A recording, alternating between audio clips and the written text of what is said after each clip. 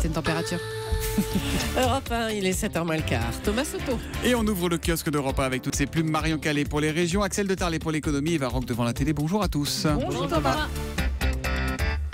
Voilà Natacha Polony qui arrive en courant. Oh, mettez-vous sur Europe1.fr, elle est tout de orange vêtue ce matin, c'est surprenant. Il manque juste la boule à facettes. Bonjour Natacha. Oui, la boule à facettes, j'exige. Bonjour. Et bien justement, la semaine de la mode, version primaire, se poursuit dans vos journaux aujourd'hui avec la star de l'instant, François Fillon, qui partage la une d'aujourd'hui en France avec Manuel Valls, rebaptisé les Outsiders. À droite, c'est le sprint final avant le premier tour, titre Le Monde. Et qui a choisi Le Monde pour illustrer sa une? François Fillon. Mmh. Libération Prudence surfe sur l'autre tendance du moment, les sondages. Le grand doute, titre Libé. Ils avaient prédit la défaite de Trump et celle du Brexit. Les instituts de sondage sont montrés du doigt après deux échecs retentissants. Heureusement, heureusement, les sondeurs français pensent et disent être meilleurs que les Américains. Voilà au moins une certitude qui devrait tenir au moins jusqu'à dimanche. Politique encore, avec aujourd'hui qui croit savoir qu'Emmanuel Macron pourrait officialiser sa candidature sur Facebook demain ou jeudi matin, à quelques heures du dernier débat de la primaire de la droite, afin de s'assurer, écrit le Parisien, un retentissement médiatique optimal. Là encore, il faut faire attention parce qu'on lit et on entend tout et n'importe quoi sur le sujet. Il y en a un qui est débarrassé de tout ça et qui fait la une de Direct Matin, c'est Barack Obama. Il entame sa tournée d'adieu à l'Europe. Obama superstar qui sera à Athènes aujourd'hui et demain, puis à Berlin jeudi et vendredi. Et pendant ce temps, eh on meurt à Mossoul, un mois après l'offensive, des combats de plus en plus durs. Ça, c'est la une du Figaro. Même choix pour l'humanité qui nous emmène au cœur de la bataille contre Daesh. Et pour la Croix qui titre L'Exode, 500 000 civils ont déjà fui la ville pour échapper à la bataille. Certains racontent l'enfer qu'ils ont vécu là-bas. Imad a eu droit à 25 coups de fouet pour avoir été pris en train de fumer. Il y a eu 6 ou 7 000 exécutions au moins dans la ville, raconte-t-il. Les corps étaient pendus au-dessus de la rivière. Il en reste encore. Quant aux informateurs des forces irakiennes, ce qu'on appellerait nous les résistants, ils ont été écrasés sous des blocs de ciment. C'est donc à lire dans La Croix ce matin. Marion Calais, 3 dans la presse quotidienne régionale. Des cambriolages dans des clubs de tir, c'est à la une du journal de Saône-et-Loire. Munitions, armes, jusqu'à des carabines qui ne fonctionnent plus. Trois clubs ont été visés, toujours la nuit et avec effraction. Le procès de la mort de la petite Fiona dans la montagne, le beau-père de l'enfant à la barrière, décrit comme possessif et violent. Et puis voilà encore une spécialité française sur laquelle lorgnent les Chinois. Ça va agacer Natacha Polony, ça fait la une de la Provence. Cet été, une société chinoise a déposé dans son pays une marque les calissons d'Aix. Oh. Les professionnels français qui peinent toujours à créer une indication géographique protégée ont déposé un recours. Ben donc, il faut accepter cette appellation gé- géographique protégée il pour faut les les calissons. protéger, notamment dans les traités de libre-échange. Absolument. L'histoire du jour, c'est celle d'un lion en cage, enfin en quelque sorte. Oui, habitué aux défis les plus fous, comme rejouer Mario Kart en plein milieu d'une route, cette fois, l'humoriste Rémi Gaillard a choisi un enfermement volontaire. Vendredi, il est entré dans une cage de la SPA de Villeneuve-les-Maglones, dans l'Hérault, son département d'origine. Et aujourd'hui, quatre jours plus tard, il y est toujours. Opération de sensibilisation contre l'abandon des animaux. Désormais, dit-il à Midi Libre, je comprends ce qu'est une vie de chien. Et si personne n'a cherché à l'adopter, en revanche, les animaux autour de lui trouvent famille les uns après les autres. Une cinquantaine d'adoptions ces derniers jours, des dons qui affluent, plus de 175 000 euros quand même. Je crois que je ne vais pas le laisser sortir, s'amuse la porte-parole de la SPA de Villeneuve-les-Maglones. D'ailleurs, Rémi Gaillard lui-même refuse de dire quand il sortira. De toute façon, sous le Midi Libre, il n'a pas la clé. C'est lui qui s'amusait à tirer des coups francs dans un camion de police. Oui, non, c'est ça, une, une vieille vidéo, c'est ça. Il, visait la lucarne et il l'avait à chaque fois.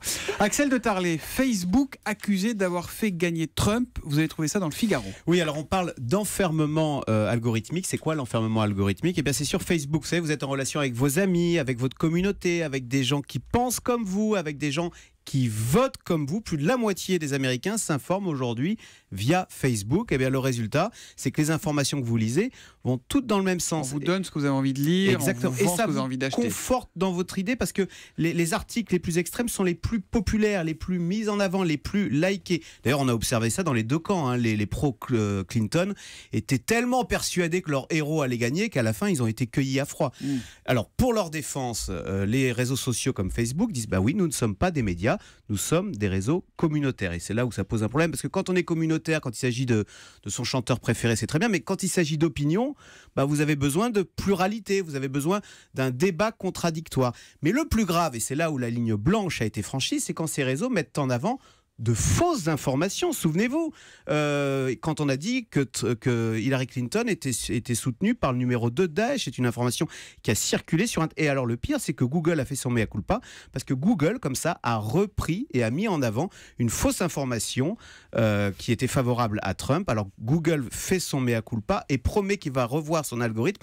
Alors pas tant d'ailleurs ce qui est intéressant au nom de la déontologie, mais au nom de la pub, parce qu'ils disent, eh ah. oui, certains annonceurs pourraient rechigner à voir leur nom accolé à des sites de propagande qui véhiculent de fausses informations. Enfin, peu importe. En tous les cas, Google promet qu'il va revoir son algorithme. C'est ce que vous dites, c'est un, un, réseau social, ce n'est pas un média. Mm. Voilà, c'est pas. C'est surtout le principe de l'arroseur arrosé, c'est-à-dire que toute la Silicon Valley a soutenu à fond Hillary Clinton sans se rendre compte que son modèle ne crée pas forcément le meilleur des mondes. Non, euh, il y a aussi une autre leçon, c'est qu'on a beaucoup critiqué les journalistes. Eh ben, il faudrait peut-être voir s'intéresser, voir si les réseaux sociaux ne sont pas responsables aussi de cette dérive contestataire et de, de on envoie tout valdinguer. Ce qui n'exonère pas les journalistes de vos critiques, qui sont toujours les bienvenus, chers amis. Voilà. Sinon, la ligne, elle est, elle est jaune, elle n'est pas blanche. Quand Alors, elle est jaune, blanche ou rouge? D'accord. Euh, je me posais la question. Qu'est-ce qu'on doit dire? La jaune, non? Je sais pas. Tout le monde dit. Je dis blanche. Blanche? D'accord. Et Obama avait dit rouge avec Moi, je dirais rouge, voilà. Eh bien, écoutez, hashtag E1 ligne blanche, allez-y, hein, ce que vous en pensez.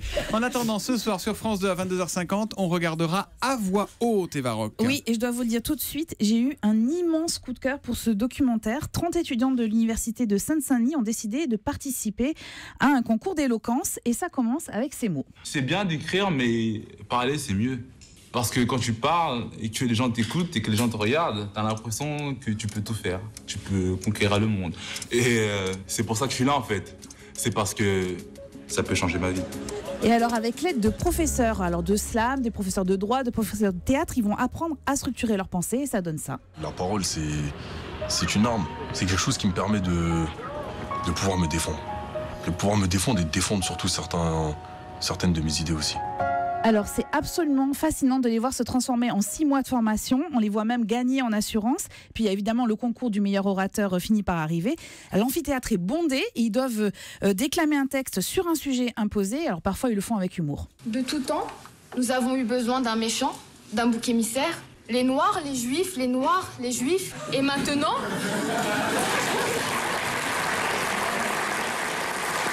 Et maintenant, les musulmans. Et alors, le jour de la finale arrive et devant un jury, alors qui est composé d'Edouard Baird, de Leila Bekti ou encore Kerry James, ils doivent répondre à une question. Écoutez bien la question le meilleur est-il à venir? Ben, Début de réponse avec Eddie. Le meilleur n'est pas à venir, mais à chercher. Le meilleur ne va pas venir à vous. Vous devez aller à lui. Car le meilleur est un objectif, un but ou un idéal.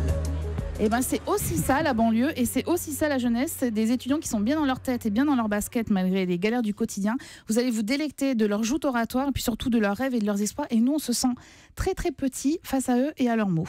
Et ça s'appelle donc À c'est sur France 2 à 22h50.